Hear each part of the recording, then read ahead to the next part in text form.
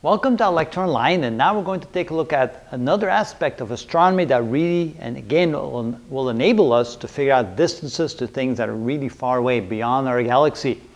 And that's something that Hubble took, took, uh, took advantage of when he started studying astronomy and he started doing research in astronomy. And when he began to realize something very, very profound in astronomy, it was based upon this concept right here. So let's understand this concept which is the radial velocity of stars, and in that aspect, the radial velocity of anything, nebulas, galaxies, you name it. So how do we know how fast things are traveling through space? Well, stars are moving in all different directions, nebulas are moving in all different directions, galaxies are moving in all different directions, and so there always will be a component of that velocity that's either directed towards us or directed away from us, and that's called the radial velocity. For example, let's say that the Earth is over here, and there's a star, and let's say the star is moving in this direction right there, like that. Well, there'll be what we call a radial component of that velocity, this way, and it'll be a perpendicular component of that velocity, which is in this direction like that. We can measure this velocity. We can measure velocities of galaxies or stars or whatever it may be in the linear direction away from us, that's called the radial direction. We cannot measure velocities perpendicular to our line of sight because there's no way for us to do that. But this we can measure. So this component right here is the component we're talking about right here. So if an object is moving towards us, we say the object is blue shifted. If an object is moving away from us, we say that the object is red shifted. What does that really mean? Well, first of all, let's find out how we can even tell that things are moving. Well, objects such as stars and galaxies are mostly made up of hydrogen. Also a lot of helium, some other elements, but hydrogen is the most abundant element in the universe. And hydrogen has a very specific spectrum due to the electron jumps from lower orbits to higher orbits and back to lower orbits. Hydrogen will absorb and emit photons of exact specific wavelengths. And for specific jumps where the electrons jump back down from the third level down to the second level, from the fourth level down to the second level, and from the fifth level down to the second level, it will emit a photon of a very specific wavelength in the visible spectrum. One wavelength will have uh, one photon will have a wavelength of 656.3 nanometers to be exact, and that will, be, that will give off red light. We have another one at 486 nanometers that will give off bluish green light, and one that will emit at 434 nanometers, which is purplish light, like violet light. Now, objects that move towards us or move away from us, those wavelengths will be shifted.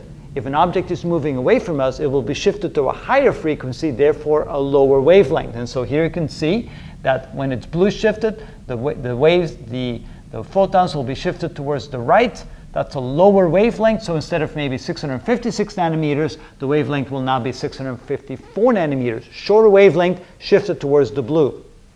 Objects that are moving away from us those frequencies will be shifted towards the longer wavelengths. And you can see that, for example, instead of 656 nanometers, we can measure that red light at 658 nanometers. Those are just examples depending upon how fast they may be moving.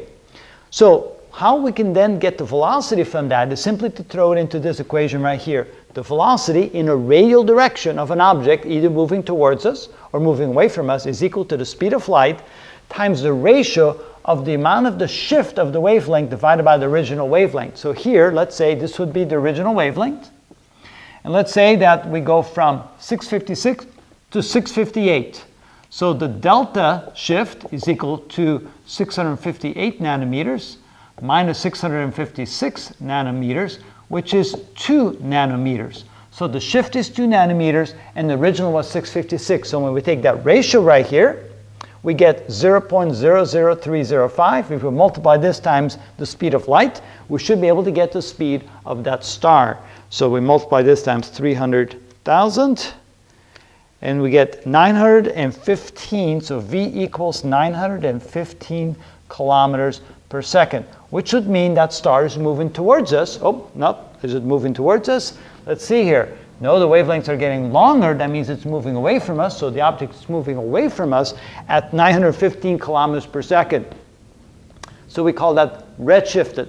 Sometimes instead of writing the equation like this, they will write the equation like this. The velocity is equal to the speed of light times the z factor. The z is called the redshift because most objects in the universe are actually moving away from us. We then use that z as a redshift term. So we simply take this as the fraction between how much the wavelength has shifted divided by the total, divided by the original wavelength. And it doesn't matter which one we take. We can take this one or this one or any any wavelength of any emission and see how much it had shifted and just come up with that ratio. That ratio will be the same no matter which one we take. The deltas will change, of course. For smaller original wavelengths, the delta will be smaller, but the ratio will always be the same. So they call that the redshift. And so the velocity is equal to the redshift times the speed of light. And so again, if you do it like this, you get the same number of 915 kilometers per second. If it's blue shifted and it's moving towards, towards us, again, you can then call it a blue shift, plug in the number. Uh, you may want to call it a negative because then the number is getting smaller, which means then it's moving towards us rather than away from us, if, if uh, that makes it clearer for you. But that is a very important thing. Notice we are able to figure out the speed at which things are traveling towards us or away from us for any object in the universe even for galaxies. And that's going to be the key to figure out how far it is to these galaxies.